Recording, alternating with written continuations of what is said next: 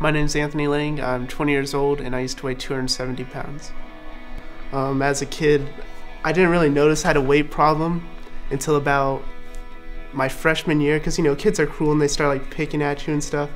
So then I don't know. I just one day I just like snapped. I was just like, man, I'm just gonna lose weight, and so I just started dieting and I did all this research on exercising and nutrition and all that, and I put theory into practice, and practice became results basically. And first started losing weight uh, probably like the middle of my sophomore year. Um, just something this one girl said. I know who she was. She called me fat, and something in my mind just snapped. And I was determined to lose weight, so I did all my research on everything there's to research about losing weight. I started doing cardio and dieting, uh, really low calories, but I lost weight pretty fast. Um, I went from 270 to 145 in a year and a half. And then by that time, my parents, um, they were worried about me. They thought you know, I was becoming anorexic, which I think I was. I was only eating a thousand calories a day, running three to five miles a night, every night, no rest. And I was getting really tired. I'd avoid my friends because they'd want to go out and eat, go out and hang out and do stuff. And I was just like, I just want to keep losing weight. I just want to get thinner and thinner.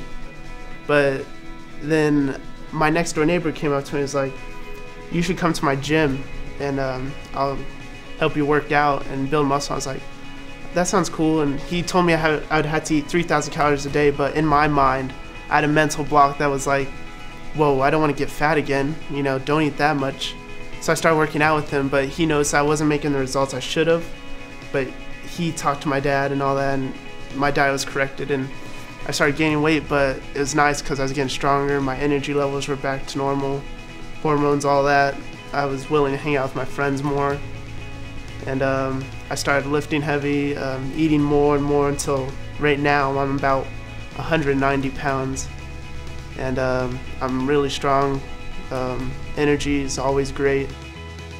When I was heavier, I would eat anything that I could get my hands on, mostly junk food, you know, hot Cheetos, whole bag, um, pizzas, and I'd eat a lot of it. I'd eat till I was sick or till I was really full and I mean, now that I look back at it, I was probably eating like well over 6,000 calories a day, if not more.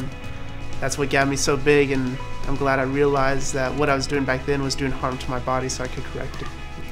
I've always had an interest in um, bodybuilding since I was a kid, since I saw Terminator 2 with Arnold Schwarzenegger. and um, he just inspired me to, you know, push myself to the limit after I got, you know, I started going to the gym and all that. And um, I just I've always wanted to do what I've been doing now, and I'm enjoying it. I I don't think I'll ever stop doing it because it's just part of my life now. And now that I'm doing bodybuilding, my diet consists of 4,000 calories a day. I uh, eat a lot of oatmeal, a lot of it. I eat um, easily go through five dozen eggs a week, uh, three pounds of chicken a week, and um, lots of steak, I do some protein powder here and there.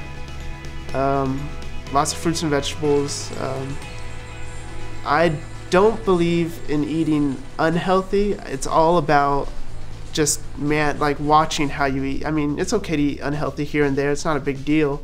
It's just when people go out to eat every single day, every single meal, you know, it adds up and they don't realize it. I avoid soda though. I completely avoid soda.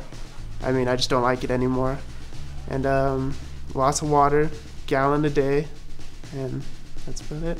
Currently weighing 190 pounds. Um, I lift four times a week, uh, really heavy weight. That's all I do, and um, by the end of the year, I'd like to be 195 pounds, and then beginning of next year, I'm going to start cutting down and hopefully compete in the Copper Classic coming up in March. We'll see how that goes, and um, long term, I'm gonna be doing this for the rest of my life. I already know it, and um, I enjoy it every day. I don't think I'll ever give up unless something prevented me from doing it, like illness or anything, because I just I can't stop. It's you know part of me. So.